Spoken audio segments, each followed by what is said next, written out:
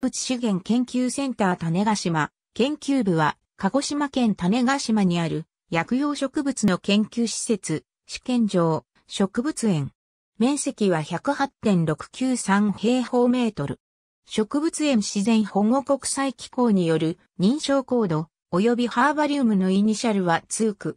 庭園は水曜日から月曜日の午前9時から午後4時30分まで一般の人々が訪問可能。入場料が別途。1954年、国立衛生試験所種ヶ島分場として開設。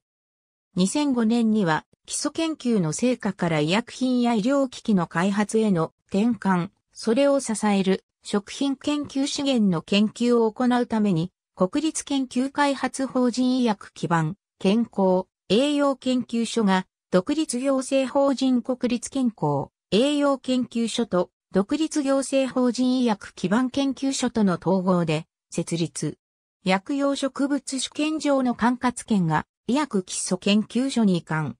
同研究所の薬用植物資源研究センター、種ヶ島研究部となる。